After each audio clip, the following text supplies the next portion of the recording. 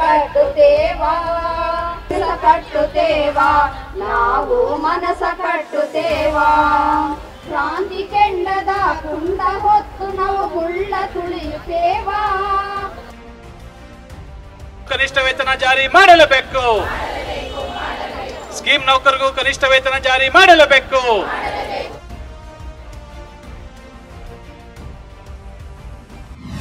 ಇಡೀ ಭಾರತ ದೇಶದ ಒಳಗಡೆ ಅಂಗನವಾಡಿಯವರು, ಬಿಸಿಯೂಟದವರು, ಆಶಾ ನೌಕರರು ಮತ್ತು ಬೇರೆ ಬೇರೆ ಸ್ಕೀಮ್ಗಳಲ್ಲಿ ಕೆಲಸ ಮಾಡ್ತಾ ಇರ್ತಕ್ಕಂಥ ಎಲ್ಲ ನೌಕರರು ಕೂಡ ಸಂಸದರ ಕಚೇರಿ ಚಲೋ ಅಂತ ಹೇಳಿ ಸಿ ಐ ಟಿ ವಿನ ನೇತೃತ್ವದಲ್ಲಿ ನಡೆಸಲಾಗ್ತಾ ಇದೆ.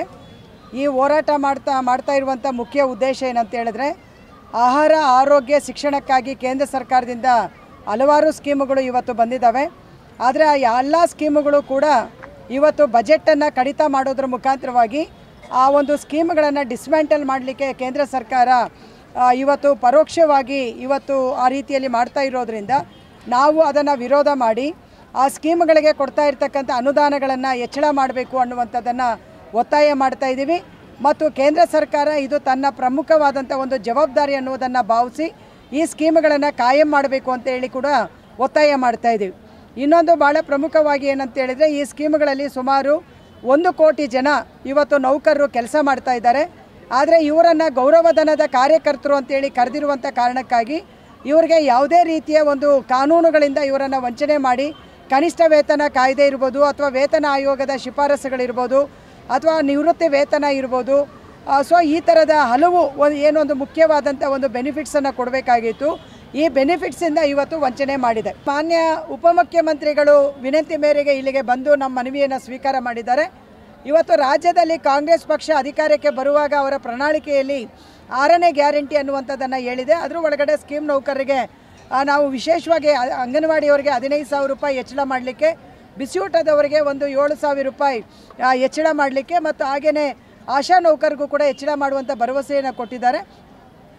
ಅದರಲ್ಲಿ ನಾವು ಹೇಳ್ತಾ ಇರೋದೇನಂತ ಹೇಳಿದ್ರೆ, ಆ ಒಂದು ಭರವಸೆಯ ಮೊದಲ ಕಂತನ್ನು ಈ ಒಂದು ಫೆಬ್ರವರಿ ಬಜೆಟಲ್ಲಿ ರಾಜ್ಯ ಸರ್ಕಾರ ಏನು ಬಜೆಟ್ ಮಂಡನೆ ಮಾಡ್ತಾ ಇದೆ, ಇದ್ರ ಒಳಗಡೆ ಅವರು ಸೆಟ್ಲ್ ಮಾಡಬೇಕು, ಒಂದು ಇನ್ಸ್ಟಾಲ್ಮೆಂಟನ್ನು ರಿಲೀಸ್ ಮಾಡಬೇಕು ಅನ್ನೋದನ್ನು ಕೇಳ್ತಾ ಇದ್ದೀವಿ. ಮತ್ತು ಅಂಗನವಾಡಿ ನೌಕರಿಗೆ ಇವತ್ತು ನಮ್ಮ ರಾಜ್ಯದ ಕ್ಯಾಬಿನೆಟ್ ಇಂದಿನ ಸರ್ಕಾರವು ಕೂಡ ಗ್ರ್ಯಾಜುಟಿ ಆದೇಶವನ್ನು ಹೊರಡಿಸಿತ್ತು. ಆದರೆ ಅದು ಹಣದ ಸ್ವರೂಪದಲ್ಲಿ ಇನ್ನೂ ಕೂಡ ಬಂದಿಲ್ಲ, ಅದನ್ನು ರಿಲೀಸ್ ಮಾಡಬೇಕು. ಮತ್ತು ಹಾಗೆ ಬಿಸಿಯೂಟ ನೌಕರರು ಸುಮಾರು ಹತ್ತೂವರೆ ಸಾವಿರ ಜನ ಕೆಲಸದಿಂದ ಇವತ್ತು ತೆಗೆದುಹಾಕಿದ್ದಾರೆ ಅವರಿಗೆ ಇಡುಗಂಟನ್ನು ಕೊಡಬೇಕು ಅನ್ನುವಂಥದ್ದನ್ನು ನಾವು ಒತ್ತಾಯ ಮಾಡಿದ್ದೇವೆ ಅದನ್ನು ಪರಿಶೀಲನೆ ಮಾಡ್ತೀವಿ ಅನ್ನುವಂಥ ಮಾತನ್ನು ಅವ್ರು ಹೇಳಿದ್ದಾರೆ. ಸ್ಕೀಮ್ ನೌಕರಿಗೂ ಗ್ರಾಚ್ಯುಟಿ ಸೌಲಭ್ಯ ನೀಡಲೇಬೇಕು.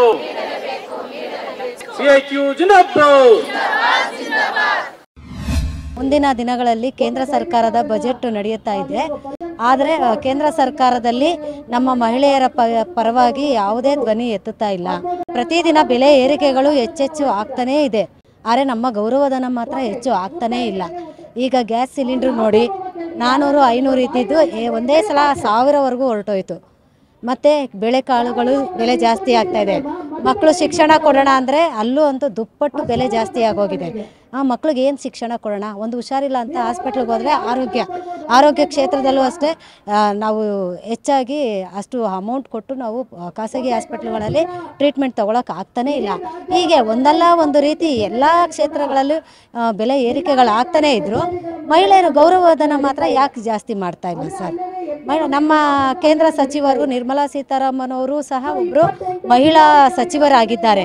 ಅವ್ರ ಮನೆಗಳನ್ನ ಹೇಗೆ ನಿಭಾಯಿಸಬೇಕು ಅನ್ನೋದು ಅವ್ರಿಗೂ ಸಹ ಗೊತ್ತಿದೆ. ಒಂದು ರೇಷನ್ ತರಕ್ಕೆ ಹೋಗ್ತೀವಿ ಅಂತಂದರೆ ಅವ್ರು ಎಷ್ಟು ಖರ್ಚು ಮಾಡ್ತಾರೆ? ಮಕ್ಕಳು ಓದಿಸ್ಬೇಕು, ಎಷ್ಟು ಖರ್ಚಾಗುತ್ತೆ? ಒಂದು ಆರೋಗ್ಯ ಕ್ಷೇತ್ರಕ್ಕೆ ಹೋಗ್ಬೇಕು, ಎಷ್ಟು ಖರ್ಚಾಗುತ್ತೆ? ದಿನನಿತ್ಯ ನಮಗೆ ಏನು ಖರ್ಚುಗಳಿದೆಯೋ ಅದು ಅವರು ಒಬ್ಬರು ಮಹಿಳೆಯರಾಗಿ ಎಲ್ಲ ಗೊತ್ತಿದೆ. ಅವ್ರು ಯಾಕೆ ನಮ್ಮ ಪ್ರಧಾನಮಂತ್ರಿಗಳ ಹತ್ರ ನಮ್ಮ ಈ ಒಂದು ಬೆಲೆ ಏರಿಕೆಗಳ ಬಗ್ಗೆ ಮಾತಾಡಿ ನಮಗೆ ಗೌರವಧನ ಜಾಸ್ತಿ ಮಾಡ್ತಾ ಇಲ್ಲ? ನಮ್ಮ ಗೌರವಧನ ಅಂತ ಹೇಳ್ಕೊಳಕ್ಕೆ ನಮಗೆ ಗೌರವ ಕೆಲಸ ಮಾಡ್ತೀವಿ. ಆದರೆ ನಮಗೆ ಕೊಡ್ತಾ ಇರೋದು ಗೌರವಧನ ಸರ್. ಗೌರವಧನ ಬೇಡ ನಮಗೆ. ನಮಗೆ ಕಾಯಂ ಮಾಡಿ. ಎಲ್ಲ ಕ್ಷೇತ್ರಗಳಲ್ಲೂ ಯಾವ ರೀತಿ ಮಹಿಳೆಯರು ಕೆಲಸ ಮಾಡಿ ಒಂದು ಸಂಬಳ ಅಂತ ತಗೊಳ್ತಾ ಇದ್ದಾರೆ ನಮಗೆ ಗೌರವಧನನ ಸ್ಯಾಲ್ರಿ ಅಂತ ಕನ್ಸಿಡರ್ ಮಾಡಲ್ಲ. ನಮ್ಮ ಸ್ಯಾಲ್ರಿ ಅಂತ ಕನ್ಸಿಡರ್ ಮಾಡೋದಕ್ಕೆ ಏನು ಅಡೆತಡೆಗಳಿದೆ ಅದನ್ನ ನಮಗೆ ಕೊಡಿ. ಏನು ಅಡೆತಡೆ ಇದೆ ನಿಮಗೆ ಅಂತ ನೋಡಿ. ಕಾನೂನು ಪ್ರಕಾರ ಹೋಗಿದ್ದೀವಿ ಸುಪ್ರೀಂ ಕೋರ್ಟ್ ಆದೇಶದಂತೆ ನಾವು ಗ್ರಾಜ್ಯುಟಿ ತಗೋಬೇಕಾ? ಸುಪ್ರೀಂ ಕೋರ್ಟಿಂದ ನಮಗೆ ಆದೇಶ ಬಂದು ನೀವು ಗ್ರಾಜ್ಯುಟಿ ಕೊಡಬೇಕಾ? ನೀವೇ ಕೊಟ್ಟಿದ್ದೀರಾ ನಿಮ್ಮ ಎಲ್ಲೋ ನಿಮ್ಮ ಮೇಲೆ ಇರ್ತಾ ಇದ್ರಿ. ಯಾಕೆ ಆ ಥರ ಒಂದು ಕಾನೂನು ಪ್ರಕಾರ ಹೋಗಿ ತಗೊಳ್ಳೋ, ಫೈಟ್ ಮಾಡಿ ತಗೊಳ್ಳೋಷ್ಟು ನಾವಿನ್ನೂ ಹಿಂದೆ ಉಳಿದಿದ್ದೀವಾ? ಅಂಬೇಡ್ಕರ್ ಆಶಯದಂತೆ ಅಂಬೇಡ್ಕರ್ ಏನು ಹೇಳ್ತಿದ್ರು ನಮಗೆ? ಸಂವಿಧಾನದಲ್ಲಿ ಏನೆಲ್ಲ ಒಂದೊಂದು ಸಂವಿಧಾನದಲ್ಲಿ ತಿದ್ದುಪಡಿಗಳು ಮಾಡಿ ನಮ್ಮ ಪರವಾಗಿ ಹೇಳಿದ್ದಾರೆ ಅಂಬೇಡ್ಕರ್ ಸರ್ ಅವರು, ಅದರಂತೆ ನಮ್ಗೆ ಯಾವುದೂ ಸಿಗ್ತಾ ಇಲ್ಲ. ಇನ್ನೂ ಹೋರಾಟ ಮಾಡೇ ನಾವು ತಗೋಬೇಕಾಗಿದೆ. ಇನ್ನು ಎಷ್ಟು ವರ್ಷಗಳವರೆಗೂ ನಾವು ಹೋರಾಟ ಮಾಡೇ ತಗೋಬೇಕು ಸರ್. ಜನವಿರೋಧಿ ಮೋದಿ ಸರ್ಕಾರ ಕೇಳಿ ಧಿಕ್ಕಾರ.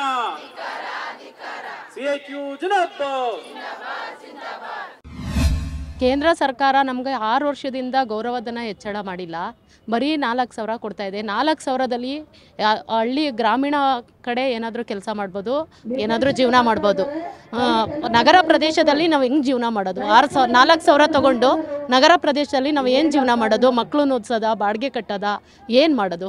ಗೃಹಲಕ್ಷ್ಮಿ ಗೃಹಲಕ್ಷ್ಮಿ ಅಂತ ಕರ್ನಾಟಕ ಸರ್ಕಾರ ಏನೋ ಮಾಡಿದೆ. ನಮ್ಮ ಅಂಗನವಾಡಿ ನೌಕರರಿಗೆ ಕಾಲು ಭಾಗ ಗೃಹಲಕ್ಷ್ಮಿ ಯೋಜನೆ ಸಿಗ್ತಾ ಇದೆ. ಇನ್ನು ಮುಕ್ಕಾಲು ಭಾಗ ಯಾರಿಗೂ ಸಿಗ್ತಾ ಇಲ್ಲ.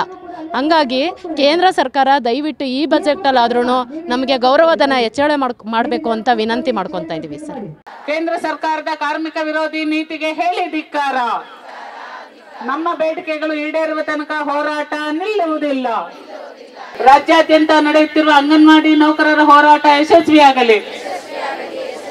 ಸಿಐಟಿ ಜಿಂದಾಬಾದ್.